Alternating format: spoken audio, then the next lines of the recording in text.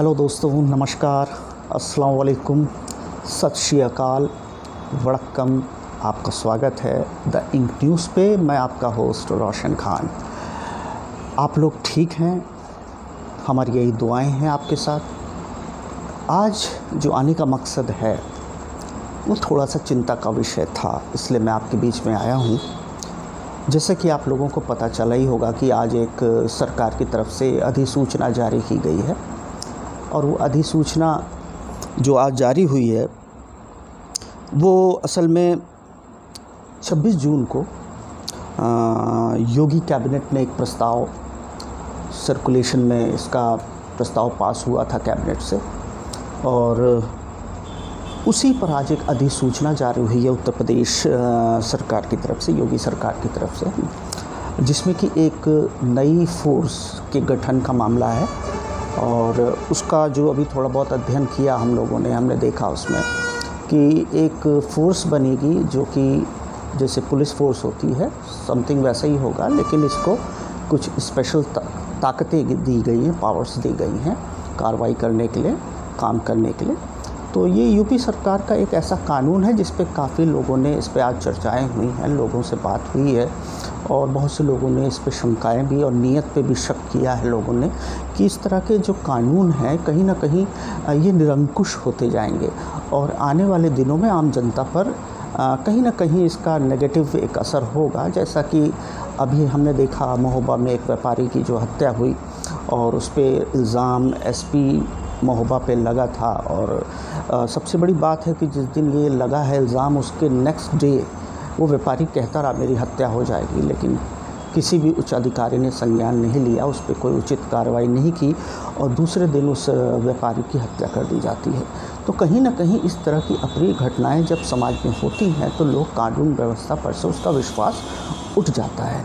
इसके कुछ negative aspects भी होते हैं लेकिन जो सबसे बड़ी बात है कि कोई ऐसा कानून जिससे समाज पे एक गलत उसका जो है असर हो ये ये ठीक नहीं है किसी भी लोकतांत्रिक देश के लिए और जो हमारी संवैधानिक जो व्यवस्था है उसमें जो हमारे सारी संस्थाएँ हैं उनका अपना अपना काम है सब कर रहे हैं।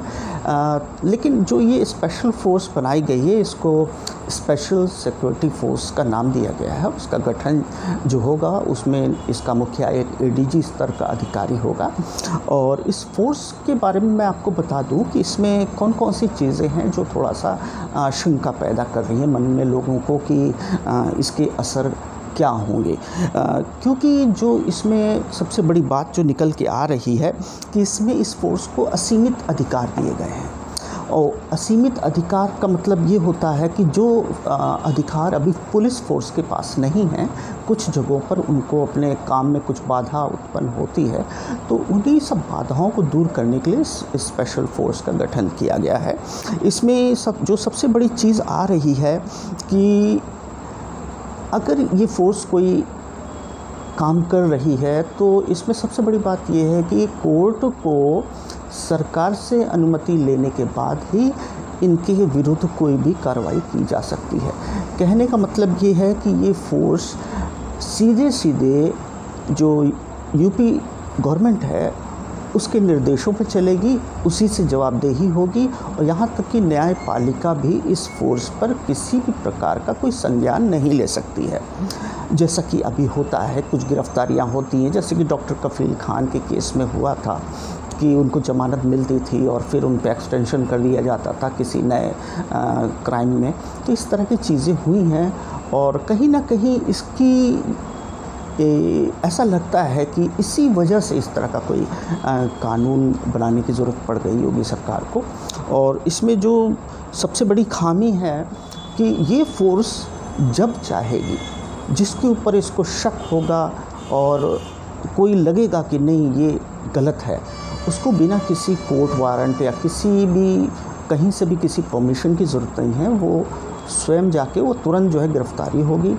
घर की तलाशी हो सकती है। अगर उस, कोई संस्थान है, उसकी तलाशी हो सकती है। तो ये कहीं ना कहीं एक फ्री हैंड फोर्स होगी, जो कि बिना किसी अनुमति के, बिना किसी आपको पूर्व में सूचना दिए हुए आपके घर पे आ सकती है, आपके घरों में घुस सकती है, छानबीन कर सकती है। पूछताछ कर सकती है और यहाँ तक कि आपको गिरफ़्तार भी आ, कर सकती है। तो इस फोर्स का एक काम तो ये हो गया त्वरित कार्रवाई करने के लिए इसको ये अधिकार दिए गए हैं। दूसरा ये है कि जितने भी सरकारी दफ्तर होंगे इमारतें होंगी प्लस जितने भी औद्योगिक घराने हैं बड़े बड़े इंडस्ट्रीज़ हैं उनकी सुरक्षा का ज़िम्मेदारी भी इसी एस एस एफ़ के पास होगी। Special security force S S F के पास होगी। और इसमें एक चीज़ और ऐड की गई है कि कोई भी प्राइवेट आदमी, कोई भी संस्थान अगर इनकी सेवाएँ लेना चाहता है तो वो ले सकता है। तो ये एक इसमें एडिशन है, जैसा कि अभी है, हम जैसे सुरक्षा लेते हैं पुलिस से तो उसका हमें पे करना पड़ता है तो उसी प्रकार से इस स्पेशल फोर्स के लिए भी आप अगर इनकी सेवाएँ चाहते हैं तो उसका जो भी शुल्क होता है, उसको जमा करके परमिशन लेके सरकार से आप इनका इस्तेमाल कर सकते हैं। तो कहीं ना कहीं आज इस पर दिन भर चर्चा हुई है, बहुत से लोगों से बात हुई। तो कई तरह की बातें निकल कर आई जो सबसे ज़्यादा जो व्यूज़ आए हैं, जो सबसे ज़्यादा जो है लोगों की प्रतिक्रियाएँ आई हैं, वो यही हैं कि कहीं ना कहीं एक निरंकुश फोर्स आने से इसका दुरुपयोग कुछ ज़्यादा होगा। और इस पर काफ़ी लोगों में गुस्सा है और इस पर जो है बात उठाने की बात कर रहे हैं लोग और कुछ राजनीतिक पार्टियाँ भी इसके ख़िलाफ़ जो है बातें कर रहे हैं और आने वाले वक्त में इसके ख़िलाफ़ उनका जो भी प्रदर्शन होगा वो करेंगे। लेकिन कुल मिला के एक ऐसे फोर्स का गठन हो रहा है जो शायद जिस, जैसा कि पास्ट में हुआ है लोगों ने एक्सपीरियंस किया है कि पुलिस फोर्सेस हों, चाहे पैरामिलिट्री फोर्सेस हों कभी कभी ये जब निरंकुश हो जाते हैं तो एक तरफा कार्रवाई या एक पक्षी कार्रवाई जो होती है तो कहीं ना कहीं इसी नीयत की बात हो रही है, जो लोगों में आज दहशत व्याप्त है। कहीं ऐसा ना हो कि इसका कुछ दुरुपयोग किसी एक विशेष संप्रदाय, समुदाय या किसी विशेष व्यक्ति के खिलाफ जिस पे कि सरकार की नज़रें टेढ़ी हों और ये कार्रवाई कहीं ना कहीं विपक्षी पार्टियों के जो नेता हैं या जो बड़े बड़े सोशल एक्टिविस्ट हैं या जो राजनीतिक क्रिटिक्स लिखते हैं तो कहीं ना कहीं उन लोगों के मन में ये बात आ रही है। कहीं ऐसा तो नहीं कि इस तरह की फोर्स बनाने के बाद इन सब लोगों का उत्पीड़न हो। ख़ास तौर पे वो लोग जो सरकार के ख़िलाफ़ बोलते हैं या सरकार के ख़िलाफ़ लिखते हैं, इसमें पत्रकार भी शामिल हैं तो कहीं ना कहीं उनके मन में ये भाव आ रहा है कि इस तरह की फोर्स आखिर बनाने की ज़रूरत क्या है? तो होता क्या है कि जो दलीलें सरकार की तरफ़ से आई हैं, वो यही हैं कि होता क्या है कि जब भी हम वारंट के चक्कर में या किसी परमिशन के चक्कर में टाइम लग जाता है और इसी बीच में अपराधी जो है, अपने तमाम सबूत जो होता है, उसको छुपाने या उसको ख़त्म करने का वक्त मिलता है। तो ये दलील यही है कि इस फोर्स के पास जो होगा उसमें एक चीज़ ये है कि जब तक एकदम पुख्ता तरीके से ना समझ में आए, तब तक ये फोर्स कार्रवाई नहीं करेगी, ऐसा कहा गया है। लेकिन ये चीज़ें लोगों को थोड़ा समझ के बाहर हो रही हैं। तो जहाँ तक हमारा अपना व्यू है, जो हमने और भी हमारे साथियों का व्यू है, उस पर आज चर्चा हुई थी, हम लोगों ने बात की थी। और कुल मिला के निष्कर्ष यही आ रहा है कि आम जनता पे इसका जो असर है, वो बहुत नेगेटिव है। इस कानून को लेकर और इस तरह की फोर्स को लेकर लोगों में, के मन में शंका है। और आने वाले वक्त में हो सकता है सरकार की तरफ़ से कुछ खुलकर इस पर बयान आएँगे और विस्तार पूर्वक इस पर जानकारियाँ सर सरकार देगी कि कैसे कैसे कौन कौन से अधिकार हैं और उसमें किसी व्यक्ति विशेष पे अगर कोई अत्याचार होता है या किसी संस्था पे कोई अत्याचार होता है या किसी विपक्षी पार्टी पे, पत्रकार पे या किसी भी समूह या राजनीतिक समूह पे कोई कार्रवाई होती है तो उसके लिए कोई मानहानि या किसी किसी तरीके से उसके खिलाफ जाने के लिए कहाँ क्या इसमें ऑप्शंस दिए गए हैं, उस पर भी सरकार को क्लियर करना चाहिए। क्योंकि इस तरह के जब कानून या फोर्सेस बनते हैं तो ये लोकतांत्रिक व्यवस्था में इस तरह की चीज़ें कहीं फिट नहीं बैठती हैं।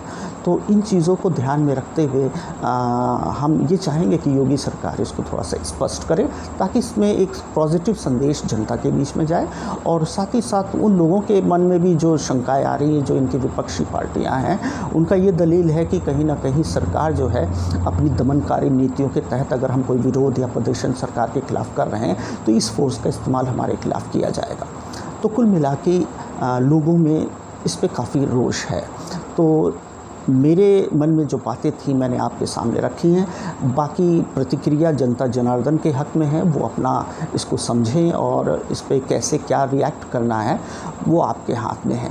इसी बात के साथ मैं अपनी बात ख़त्म कर रहा हूँ और मैं ये दुआ करता हूँ कि हमारा देश में शांति व्यवस्था कायम रहे, आपसी भाईचारा बना रहे, तमाम जितने भी धर्म समुदाय हैं एक साथ मिलकर इस देश का निर्माण करें। जय हिंद, जय भारत।